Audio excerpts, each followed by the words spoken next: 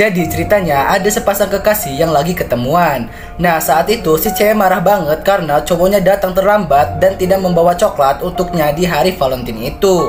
Karena si cewek terlanjur kesal, akhirnya dia pun pulang ke rumah. Karena si cowok merasa bersalah, akhirnya dia pun ke rumah si cewek dan membawa coklatnya. Ketika sampai, mereka pun mengobrol dan akhirnya si cowok pun disuruh masuk tuh. Kemudian mereka duduk di ruang tamu dan si cowok meminum kopi yang sudah disediakan si cewek. Terus tiba-tiba si cowok melihat wajah pacarnya itu menjadi besar kayak gitu. Kemudian dia pun pingsan dan terbangun dalam kondisi yang sudah terikat kayak gitu. Ternyata si cewek itu masih marah sama si cowok ini guys. Kemudian dia memperlihatkan nasib mantan-mantannya yang sudah jadi boneka gantung kayak gini. Nah si cowok ini juga bakal jadi boneka gantung itu juga. Serem banget ya. Ibu ini sedang melayani pelanggan di tempat makannya. Terus dia melihat ada tiga beruang yang melihatnya dari jendela. Awalnya ibu ini mau mengusir beruang itu, tapi setelah melihat mereka ternyata dia jadi suka guys. Dan dia pun menyuruh beruang-beruang itu untuk masuk. Dia juga memberikan mereka minuman, makanan. Tapi pas para beruang ini memakannya, ternyata rasanya itu gak enak. Terus di sisi lain, pelanggan itu juga tidak menghabisi makanannya tuh. Karena itu, si ibu ini jadi sedih dan kembali ke dapurnya. Para beruang pun jadi gak enak tuh. Beruntung si ibu tidak sedih terlalu lama. Malah si ibu ini balik lagi dan membawa es krim raksasa untuk para beruang.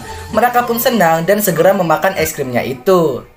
Nyamuk ini lagi kelaparan guys. Terus dia lagi mencari mangsa nih. Dia pun menemukan salah satu kamar dan melihat ada orang gemuk yang sedang tidur tanpa pakaian. Nyamuk ini jadi senang dan semangat banget melihat orang tersebut.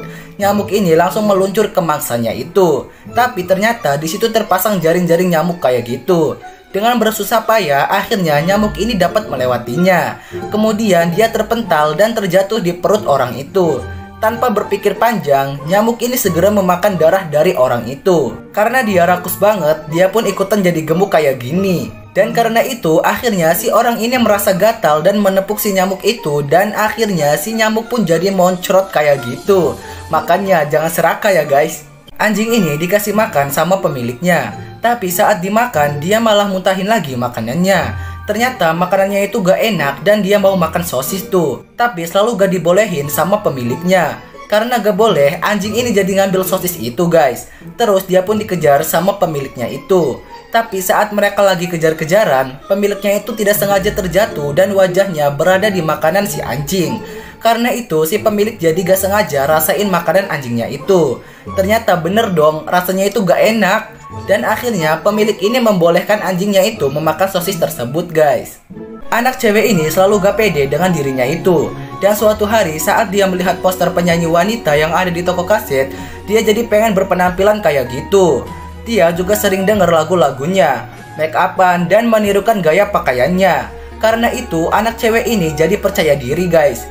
Tapi makin lama, anak cewek ini jadi terobsesi dengan itu guys. Dan suatu hari saat dia naik bis, anak cewek ini gak sengaja ninggalin tipnya di kursi bis tersebut. Dia pun mencoba mengejar bis itu tapi gak bisa guys. Anak cewek ini jadi sedih dan tidak pede lagi. Tapi setelah dipikirkan kembali dan melihat dirinya di dalam cermin, cewek ini jadi sadar akan dirinya yang dulu. Dia pun akhirnya kembali ke jati dirinya itu. Dan sekarang dengan gaya apa pun dia akan selalu terlihat pede guys.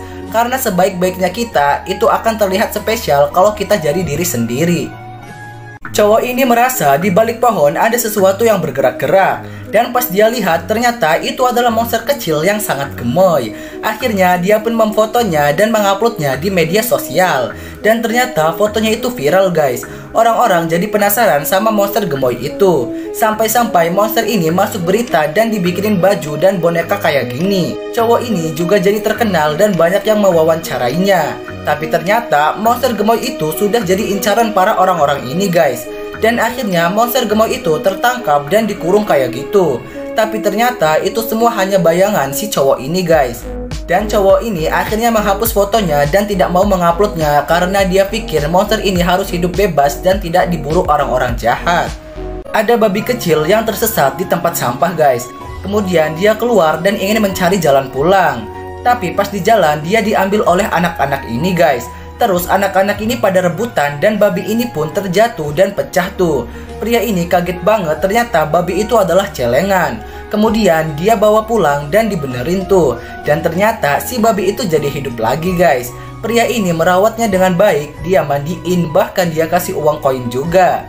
Besoknya pas dia lagi jalan, terus dia melihat poster pengumuman kalau ternyata babi yang dia rawat itu adalah babi orang lain. Akhirnya pria ini kembalikan babinya ke pemilik aslinya. Dan bener dong si babi jadi seneng banget karena bisa bertemu dengan pemiliknya itu.